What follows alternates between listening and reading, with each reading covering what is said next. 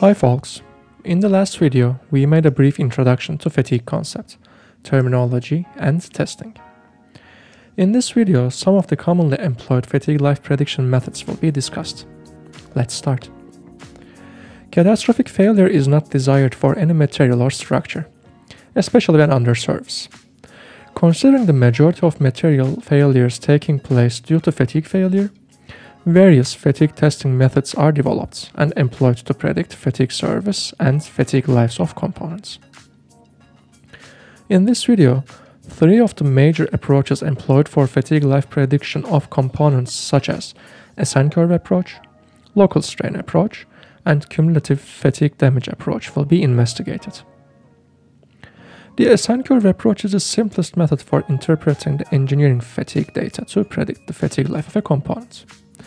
In this curve, the y-axis is the stress applied in megapascal, and the x-axis is the number of cycles to failure.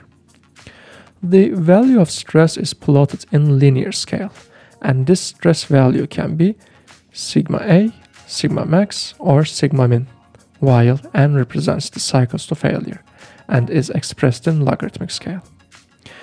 It should also be noted that the majority of fatigue tests are performed in completely reversed rotating bending tests, where the mean stress is zero. On the screen, you will see a typical SN curve obtained from a rotating bending test. Please not forget that the SN curve approach deals with high cycle fatigue cases, where the component goes beyond 10 to 5 cycles. The number of cycles of stress the component can endure before failure increases, as the stress values decrease.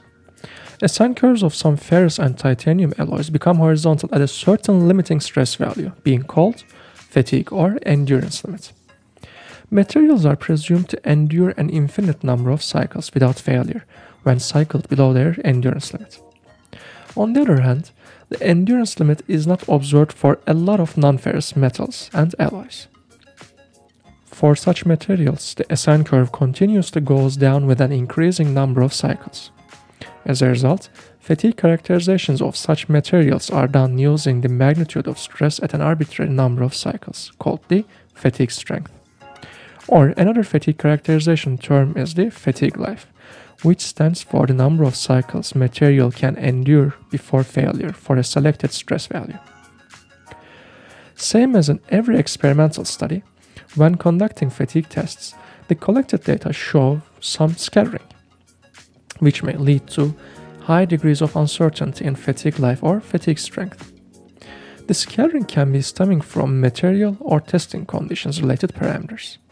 Most of the time, the best fit curves are shown on the SN curves for the sake of simplicity. However, SN curves targeting the probability of fatigue failure are prepared where the scattered data is shown as separate curves with different probabilities. Last ground to touch on for the SN curves is the correlations between the mean stress and the resulting cycle life of the specimen. Although most cases show as zero mean stress and stress ratio equal to minus 1, in some engineering applications where an alternating or a superimposed mean stress is applied, neither mean stress will be 0 nor R will be minus 1. Lower mean stress not only means higher stress ratio value, but also longer fatigue life for a given specimen. Also, higher mean stress or lower stress ratio values lead to a decay in fatigue life of a given specimen. With this said, we can move to the second fatigue life prediction method, which is local strain approach. Increasing stress progressively decreases the fatigue life due to increasing plastic deformation. Thus, for low cycle fatigue regions, tests are performed under controlled cycles of elastic and plastic strain rather than controlled load or stress cycles. Low cycle fatigue cases are usually considered for components experiencing thermal cycling, such as pressure vessels and steam turbines. Thus, Cyclic stress is employed for monitoring fatigue rather than cyclic stress.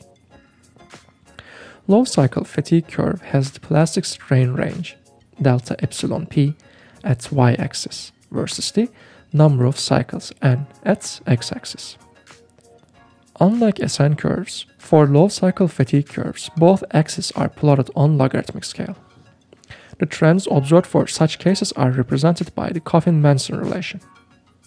Here, delta epsilon p divided by 2 is plastic strain amplitude, 2n is the number of strain reversals to failure where each cycle is made up of two reversals, meaning that n stands for the cycle life of the specimen under given testing conditions. C is the fatigue ductility exponent varying between minus 0.5 and minus 0.7 for many metals. Epsilon f is the fatigue ductility coefficient defined by the strain intercept at 2n equals 1. This value is approximately equal to the true fracture strain epsilon f for many metals, which has been covered in video number 2.1. This equation describes the relationship between plastic strain and fatigue life in the low cycle fatigue region. For high cycle region, where nominal strains are elastic, Basquin's equation is rearranged and combined with Hooke's law. Then we obtain the following equation. Here, sigma A is the alternating stress amplitude, E is the Young's modulus, delta epsilon E divided by 2 is the elastic strain amplitude, sigma F is the fracture stress, and B is the fatigue strength component varying between minus 0.05 and minus 0.12 for most metals. Accordingly, for the entire region of SN curve combining the low and high fatigue cycles, the following is obtained for the fatigue life based on strain.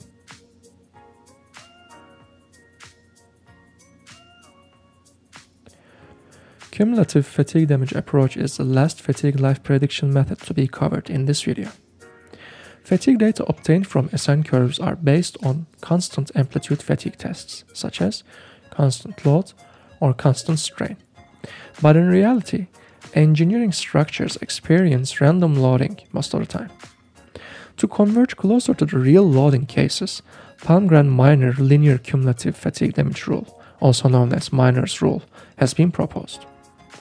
It assumes that the total life of a part can be estimated by adding the fraction of life consumed by each overstress cycle, where Small case and i represents the number of cycles of operation at a specific overstress value, and capital case and i represents the cycle life at the same overstress level.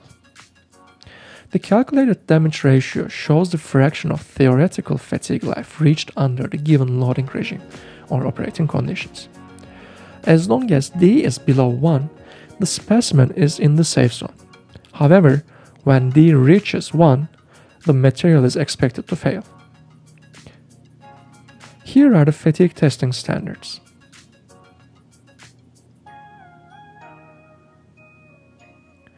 In this video, high cycle, low cycle, and cumulative damage fatigue life prediction methods were covered, and now we are done with fatigue concepts. In the upcoming video, we will be talking about the creep phenomenon, testing, and mechanisms. See you next time!